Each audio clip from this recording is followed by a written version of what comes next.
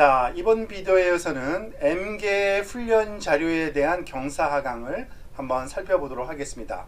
우리가 loss function이라고 할 때 이 L이라고 표현하는 loss function 그 손실 함수는 하나의 그 입력 자료, 그러니까 하나의 훈련 자료에 대한 결과입니다. 그런데 우리가 그, 비, 그 비용 함수 J, 우리가 cost function이라고 부르는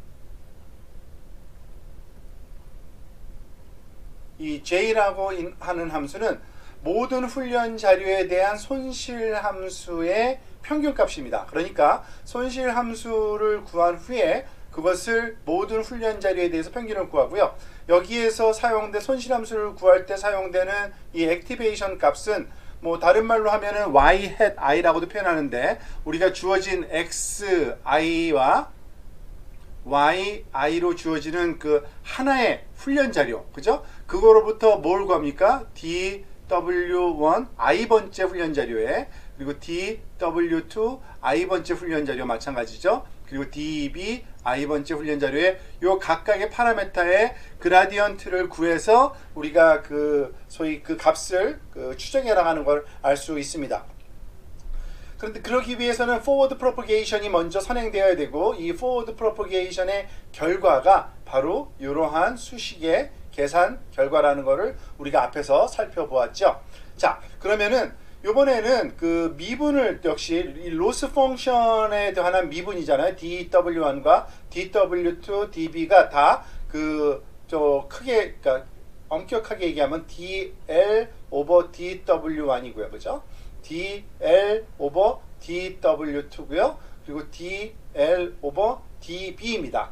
근데 이번에는 j 함수에 대한 w1, w, w3의 그러니까 b의 그 미분을 구해야 되는데 생각보다 간단합니다. 결국에는 우리가 알다시피 그 j 함수에 대한 w1의 미분은요.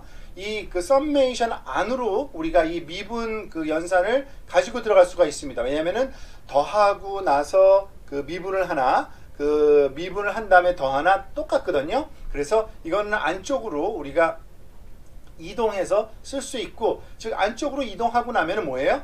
결국에는 그 소위 로스 함수의 그 평균인 j의 그 함수에 대한 그라디언트 값은 우리가 로스 함수의 그라디언트들을 따로따로 i 번째 훈련 자료에 대해서 다 구하고 그것을 평균 낸 그죠? 여기서 에버리지를 하는 거죠.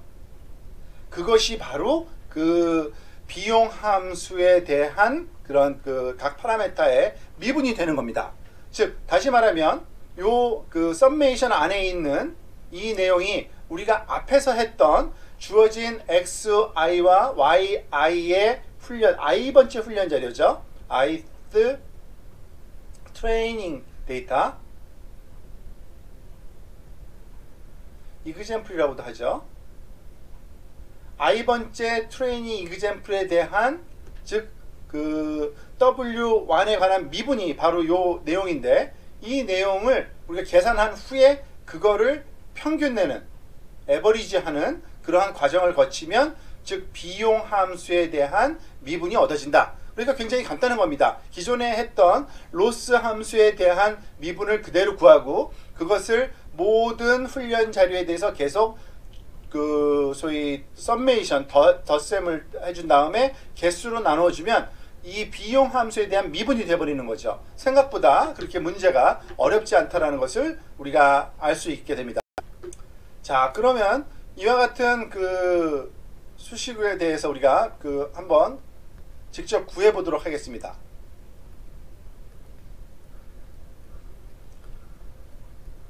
프로그램으로 구현했을 때 어떤 모양이 되는지를 한번 살펴보고자 하는데요. 자, 일단은 그 J라는 파라미터, 그러니까 이거는 수도 코드입니다. 정확한 코드는 아니지만 그래도 많은 내용이 그 여러분들이 그 코드를 짤 때 이것과 유사하게 짜게 되는 아마 비슷한 코드 형태고요. 자, 그 비용 함수의 값을 넣을 그 변수 우리가 J를 하나 만들어 놓고요. 색깔을 좀 다른 색으로 바꿔서 하겠습니다. 그리고 모든 그 parameter 값을 아예 0으로 세팅을 지금 하기 위해서 파이썬에서는 이런 문법이 허용되죠. J는 DW1은 DW2는 DB는 모두 0으로 이제 우리가 세팅을 하는 겁니다. 색깔이 잘 안 바뀌네 이상하게 다시 한번 볼까요?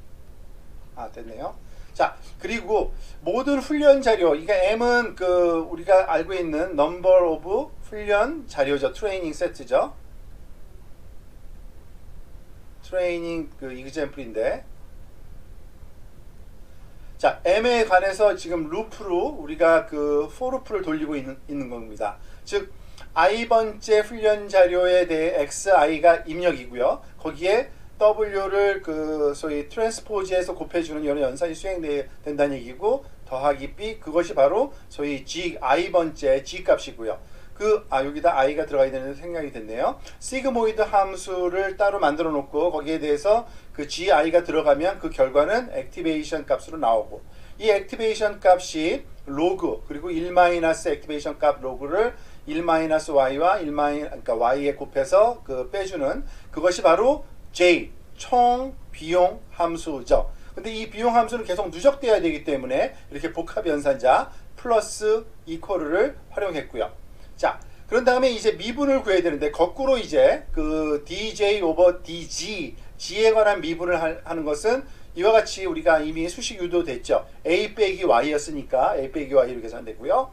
그리고 dw1, dw2, db는 각각 x1, x2 곱하기 dg, dg 그리고 얘는 1 곱하기 dg에서 이런 식으로 미분 값이 계산이 됩니다. 그런데 이 미분 값은 하나의 훈련 그 자료에 대한 그 로스 펑션에 대한 미분이잖아요. 그래서 이거를 전체 훈련 자료에 대한 미분 값을 구하기 위해서는 이것을 계속 복합 연산자로 덧셈을 해주고 있습니다. 그죠? 모든 훈련 자료에 대한 결과값에 그 미분치를 다 더해주고요. 그것을 이 포루프가 끝나고 난 다음에 이와 같이 m으로 개수로 나눠주면은 다시 평균이 되겠죠. 당연히 j도 마찬가지로 그 로스 함수의 평균값이기 때문에 이와 같이 복합연산자로 나누기 이퀄이라는 수식을 우리가 활용할 수가 있습니다. 자, 그런데 그, 요 함수를 지금 여기서 우리가 푼 용어는 결국에는 그러니까 그 DW DW1 다시 말하면은 DJ에 대한 그 비용 함수에 대한 DW1에 관한 그 미분치를 구한 거죠.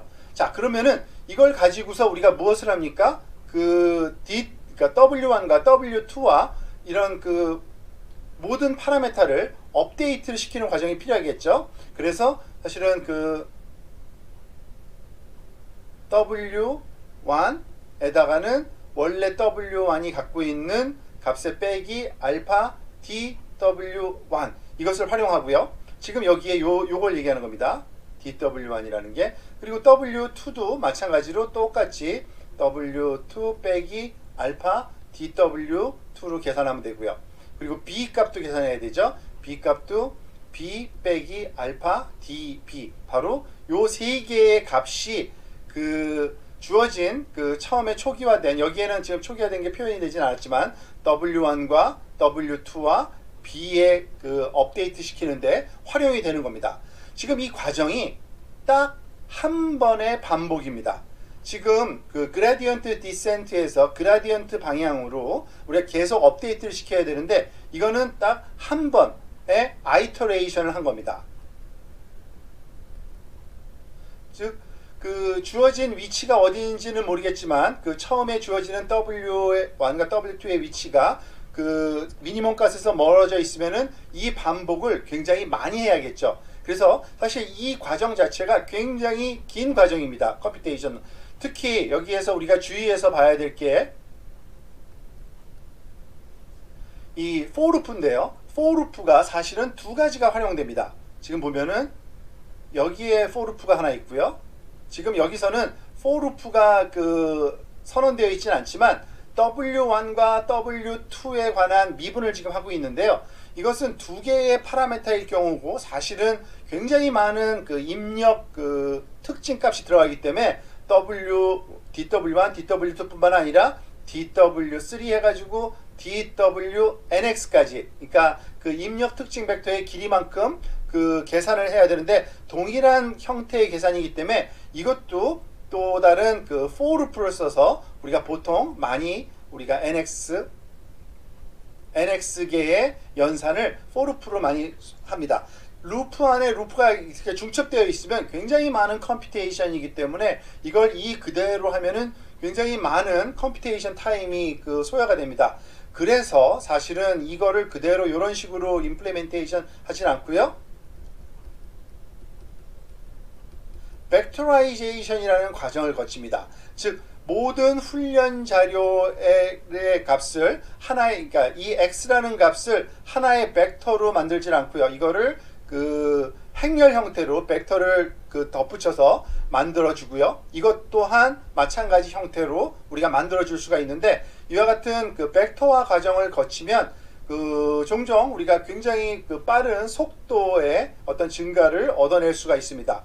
물론 그 사용하기에 적절한 CPU나 GPU가 구비되어 있어야 합니다만 요즘에 대부분의 그러한 프로세서 안에는 그 충분한 메모리가 같이 제공이 되기 때문에 웬만한 크기의 vectorization을 했을 경우에는 굉장히 많은 속도 그 증가를 우리가 누리게 되고 아마 거의 매, 그 매번 vectorization을 신경을 써야 될 겁니다.